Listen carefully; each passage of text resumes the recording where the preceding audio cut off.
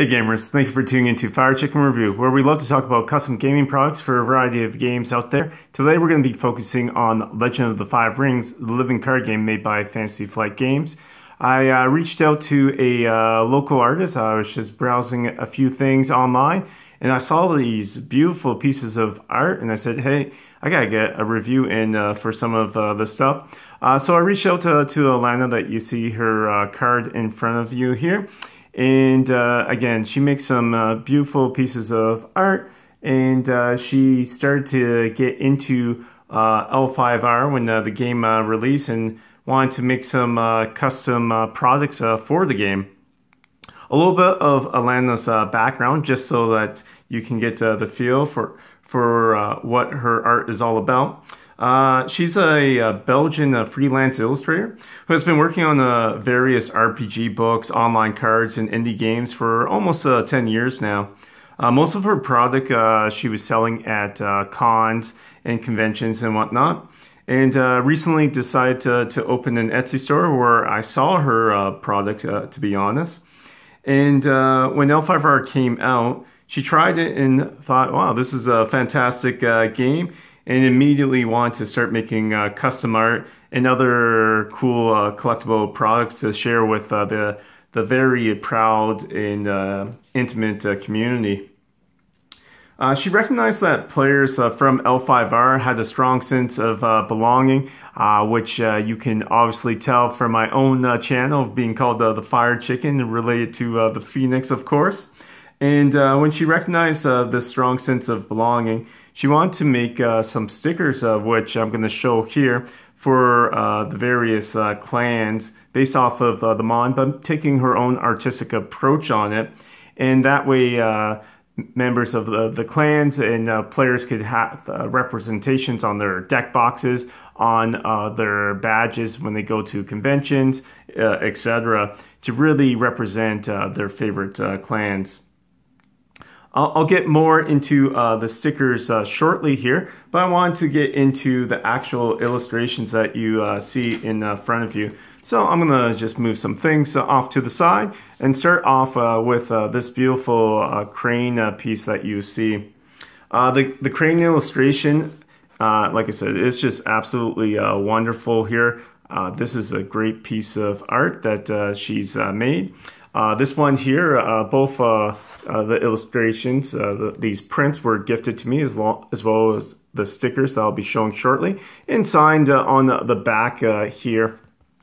The history of uh, this one in particular is uh, the crane illustration was originally made for a close friend of the artist and was made as actually a one-of-kind playmat but uh, she uh, re recognized that uh, the art was really loved uh, by the community, and so she started to put up uh, prints of uh, this illustration on her store so that people could buy it. but you can't buy the playmat because, again, this was made specifically for a friend. As far as I am concerned with this, this is absolutely uh, gorgeous. And what's great is that uh, the print is small enough that you can just have it up in uh, your gaming room or wherever in your, probably your den, your office or whatnot. Just a nice uh, small piece of art. I really enjoy um, the artistic uh, approach uh, to it. It feels um, very close to, it's a very nice anim anime type of approach uh, getting a little bit uh, off of what you normally would see for L5R uh, from uh, the base uh, game and taking a nice lighter approach and just beautiful and very vibrant, colorful art. I love how it shines. I love the, the cherry blossoms here. And I would love to see this as an alt art card as well, maybe of the Crane champion uh, would uh, be uh, cool, or just uh, within uh, the game. That being said, uh, this is absolutely fantastic. When you look at it, you're like, wow, I would love to see a full anime of this, and I guarantee people would die to watch it, but that's that's going way too far into it. Um, yeah, let me know in the, the comments what you think of this piece of art. Uh, of course, uh, when you're talking about art, it's all about uh, the sense of your own uh, judgment and uh, the style, if you're going to like it. But uh, the details uh, work that it's been uh, put into uh, this product is here. Uh, if you get uh, these prints off of her Etsy store, you'll notice that it's a very vibrant colors. It really pops out. Uh, the big thing that she is looking for because she is an international uh, seller is just trying to figure out how she can get to uh, places like North America and whatnot without damaging the product, which I don't think will be too much of an issue once she's able to sort that out. But yeah, this art is uh, absolutely beautiful. And uh, really, uh, if I was a, a Crane uh, fan, which I am, to be honest, uh, I would love to have uh, this up just in my gaming room, like I mentioned before. So this is the, the Crane piece of art that I was talking about. Again, she has prints up on her store. I would highly recommend as a Crane player to, to get this and just putting it in a nice uh, on uh, your shelf or something in a nice uh, little frame. Uh, the next one I want to get into is the dragon. Again, this is probably my uh, second uh, favorite uh, clan. Uh, my top uh, three clans, if you're unaware, is Phoenix, Dragon, followed by Lion. I was a Dragon player to start off, actually, for those who are unaware, but I quickly became a Phoenix fan shortly into the first month or two of uh, the game. So this uh, piece of art uh, is awesome. It's called uh, The Pride of uh, the, the Dragon, and it came out uh, shortly after she made the crane art that you saw there, because players obviously saw the art and thought it was beautiful, and she wanted to be able to give players an option, if they're a dragon fan, to get a nice print, or she also has a playmat, and this is her actual first uh, playmat uh, that she started uh, uh mass uh, producing. Uh, I may be doing a review of the playmat in a later video, but this art is awesome. Again, it has that very great anime look to it. Um, there's a few animes that come off the top of the head that it reminds me of. something probably in between like The Last Airbender um, a little bit more adultish than that, but that same uh, color aspect is what it reminds me of. And as an anime fan, I love this art. Again, just a small hint, I would love to see uh, an actual anime of uh, this. likely would never happen, but as far as a, a fan, if you're going to co conventions and whatnot, uh, these are great uh, to pick up to get uh, a nice uh, print signed by the artist, and it's just fantastic. just I'd be shocked like if I was going to a convention and all of a sudden I saw this because uh, you're used to seeing like the typical things like uh, Overwatch or Dragon Ball Z or any of those animes. So to see this and you're an L5R fan, oh man, this is perfect. This is great to, to pick up, especially if you're getting into uh, the RPGs or anything like that. Really set the, the atmosphere uh, for your local uh, group. And I would love to see uh, some more art within this. So getting into uh, this one, because after my uh, little bit of a tangent there, like I was saying, this is a beautiful art. I love uh, the dragon representation here, uh, the temple in the, the, background. The art really uh, pops out. Again, same uh, small print size, so you can have it in your office. And it just feels fantastic. It feels very much dragonish, and it feels great. I love everything about it. I think the only thing, if I look closely, I, I don't think I really see on this uh, person here, I don't think there's actually, I'm just trying to look at the moment. I don't think you see uh, the Dragon Mon uh, anywhere on him. I'm just looking. Uh, there was one on uh, the Crane one, but that's still fine. You don't need to have it. Obviously, this uh, yells out Dragon all over it, and it just looks fantastic. It looks like he's ready for battle here, and he's ready to, to go. Uh, so again, if you're a Dragon uh, fan, check this one out.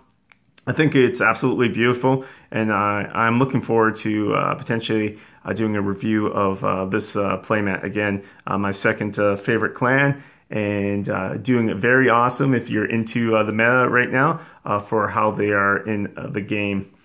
So the last thing that I wanted to review was the sticker set that I said uh, Ellana was wanting to cover. And this is the beautiful uh, sticker set uh, that uh, she made.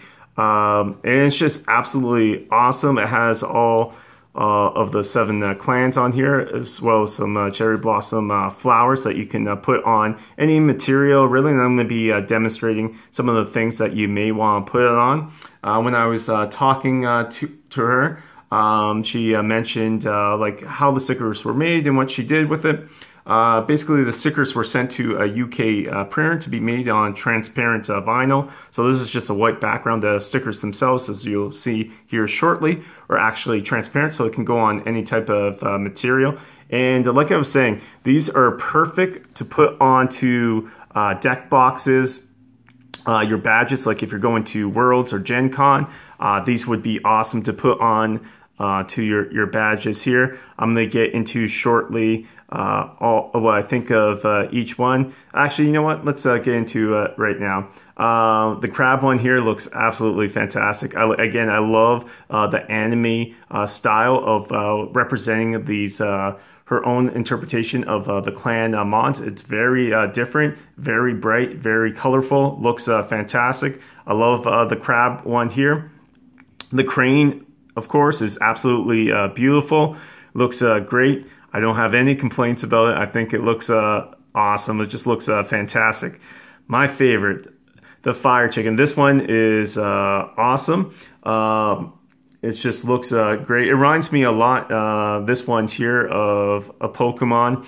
Uh, some of you Pokemon fans may be able to tell me which one it looks like exactly. But uh, I do like uh, this Phoenix uh, quite a bit. I'm very happy uh, to have it. And this one I'll be showing on my main uh, deck box most likely. Uh, the Scorpion sticker here. I'm not a big fan of Scorpion, I will tell you honestly, because of the, all the tricks that they do in the, the games. But this sticker representing the Scorpion clan looks fantastic. It looks awesome. Um, my only slight uh, complaint about I don't even think it's a real complaint. It's a little bit darker than the rest, but hey, Scorpion is just a, a darker uh, clan. I find uh, the tail back here is a little bit uh, darker. I would like to see it uh, brighten up a bit just so you can see a little bit more of uh, the details in it. but again, Scorpion is a very dark clan, so it makes sense the unicorn. This is one Mystic uh, unicorn. It's a beautiful piece of art. I feel like this unicorn is just going to burst out of uh, the trees and I'm like staring at it for hours. This uh, mystical uh, beast and unicorn being very popular right now. I think a lot of people will enjoy putting this sticker again representing uh, their clan on their deck boxes or uh, badges. the dragon, it looks fantastic uh, reminds me of, uh, looks uh, similar to me, uh, not actually, but uh, it reminds me of like Shenron, uh, which has a completely different color aspect from Dragon Ball Z, but just the style of it looks very fantastic. I'm just saying it represents a, a beautiful anime style. Looks fantastic.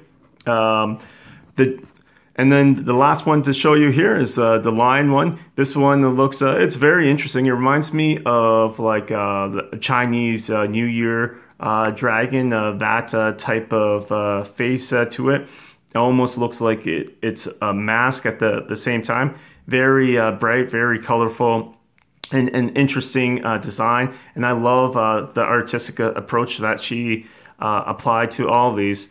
so Basically, you can take all of these uh, stickers and put them onto your deck boxes, like I was saying, or your badges if you go to like uh, Gen Con, Worlds, or any like conventions, uh, really. So I just wanted to demonstrate uh, some of uh, the stuff. Uh, so I got my deck box here. I'm going to use my one from Worlds 2015 that's signed by one of the designers of the game, Brad here. And so I'm going to put um, my Phoenix uh, one on here. So I'll just take it off, show you here. Just give me a second, zooming in. It should. See how easy this peels off. I apologize because I'm trying to do this live on the camera. Okay, so it doesn't peel off. Uh, it's not too hard to, to, peel off. Actually peels off quite nicely. So this is uh, the sticker peeled off here. And I'm just going to place this right on top of uh, my deck box like so. And like I was saying, so it's uh, nice and uh, transparent, so it can go on uh, easily. So if you have a little bit of a darker background, uh, it'll go on and look uh, quite awesome. Actually, I like this uh, quite a bit. So now when I'm playing um, my Phoenix, this will probably be my Phoenix deck box if I'm not using one of my other ones here. It looks awesome. I love how it goes on. And yeah, so that's just perfect. So that's the Phoenix going on there. I wanted to show, so this is, you know, a little bit of a, a softer uh, deck box. If you got a more standard, like your Ultra Pros uh, here, let's take off uh, my top. And uh, for this one, I want to use uh, my Dragon one here. So let's do it off camera real quick. So again, all these uh, different stickers, you can see just how nicely it comes off and all the color that's on here. So I'll just place green on green. You know what? It's uh, I'm a Dragon player, so why not? So on my Ultra Pro uh, box here, it goes on uh, quite nicely. No issues whatsoever. And uh, I think that looks awesome. Uh, let me know what you think.